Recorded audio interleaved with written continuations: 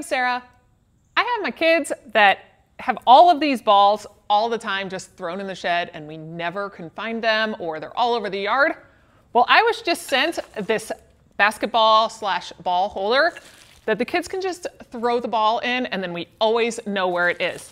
So I'm gonna get this set up and put it in my garage and then take care of all of this mess to where we will be able to easily get all the balls, know where they are, and make it decluttered.